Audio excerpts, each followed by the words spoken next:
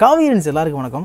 ஃபேஸ்புக்குடைய founder mark Zuckerberg ஒரு முக்கியமான முடிவு எடுத்திருக்காரு. அது என்னென்னா அவர் தனியே ஒரு கிரிப்டோ கரன்சியை உருவாக்க போகிறேன்னு சொல்லியிருக்காரு அந்த கிரிப்டோ கரன்சி எப்படி இருக்க போகுது?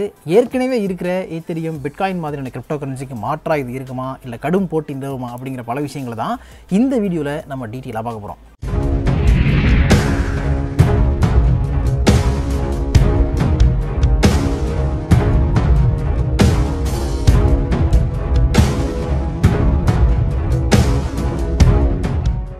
welcome to fine facts with Nivya blockchain technology நமக்கு தெரியும். அதாவது சென்ட்ரலைஸ்டாக இருக்காது டீசென்ட்ரலைஸாக இருக்கும் அப்படின்னு சொல்லுவாங்க.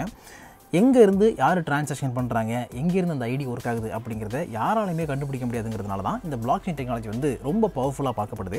இந்த டெக்னாலஜியை பேஸ் பண்ணி கிரிப்டோ கரன்சிஸ் நிறைய வந்து உலக நாடுகளில் இருந்துகிட்டு இருக்கு. அதில் நிறைய முதலீடுகளும் பண்ணிகிட்டு இருக்காங்க.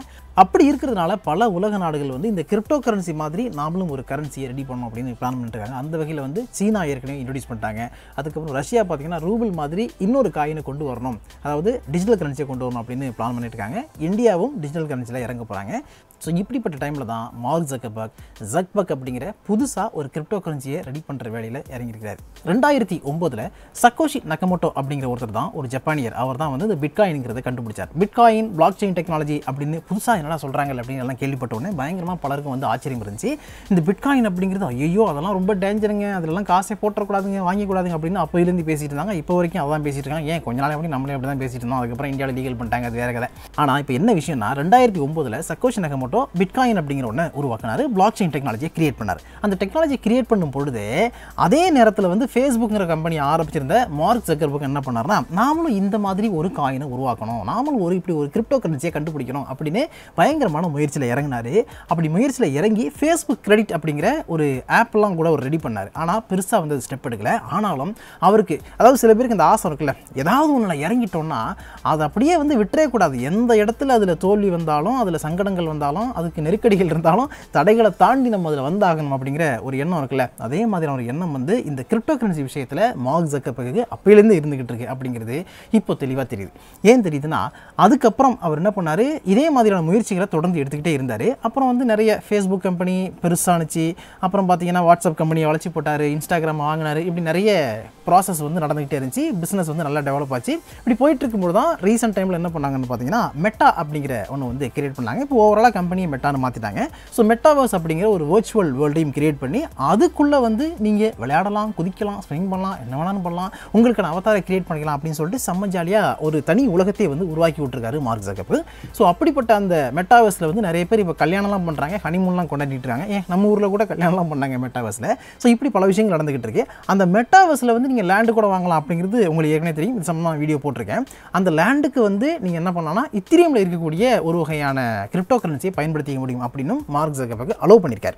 இப்படியான சுச்சுவேஷனில் தான் மார்க் ஜக்கர்பர்க்கு அந்த எண்ணம் வந்து அப்படி திருப்பி திருப்பி ஓடிக்கிட்டே இருக்குது எதுக்கு நம்ம இன்னொருத்தன் காசை இன்னொருத்தன் கிரிப்டோ கரன்சியை உள்ளே அலோவ் பண்ணோம் நாமளே வந்து கொடுத்தா என்ன? இந்த மெட்டாவேஸ்குள்ளெல்லாம் அப்படின்னு அவர் பிளான் பண்ணுறாரு அப்படி பிளான் பண்ணி தான் இப்போ என்ன பண்ணுறாருன்னு பார்த்தீங்கன்னா சூப்பராக ஒரு காயினை வந்து உருவாக்குறதுக்கான பிளானில் இறங்கியிருக்காரு. அந்த காயினுடைய பேர் வந்து ஜக் பக்ஸ் பல கஷ்டங்களை தாண்டி இந்த ஜக் பக்ஸ் அப்படிங்கிறத இப்போ மார்க் ஜக்கபக் கொண்டு வரலான்னு ஒரு முடிவுக்கு வந்திருக்காரு. ஏன் பல கஷ்டங்களை தாண்டின்னு சொல்கிறேன்னா ரெண்டாயிரத்தி ஒம்போதுலேருந்து அவர் கிரிப்டோ கரன்சியில் இறங்கணும் அப்படின்னு பிளான் பண்ணிட்டு இருந்தார்.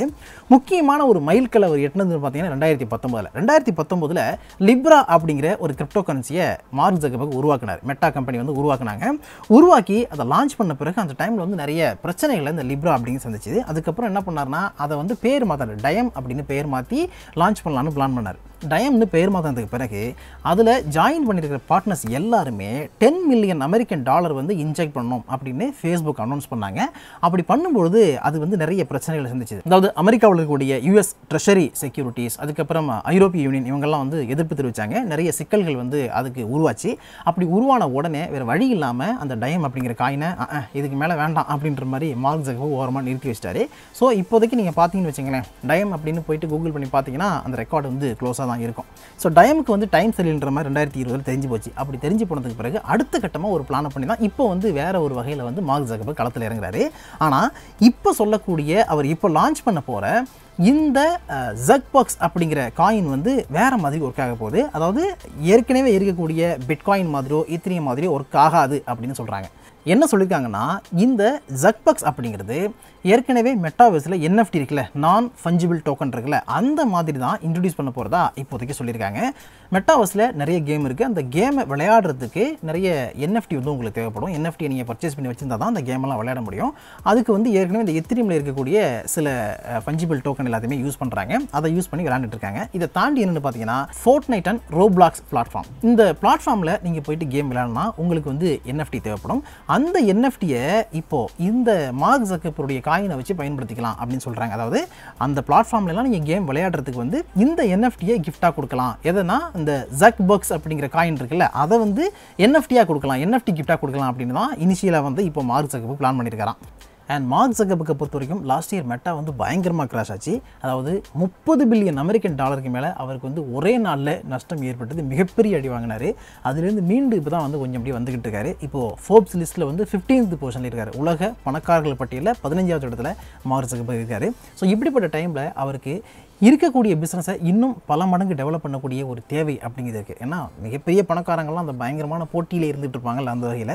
அப்படி பார்க்கும்பொழுது வேறு ஏதாவது புதுசாக பண்ணோம் அப்படின்னு மார்க் யோசிக்கிறாரு. அப்படி யோசிக்கிறதுனால தான் இப்போதைக்கு இந்த காயினை வந்து டோக்கனாக நம்ம கொடுப்போம் என்எஃப்டியாக கொடுப்போம் அப்படிங்கிற பிளானில் அவர் இறங்கியிருக்கிறார்.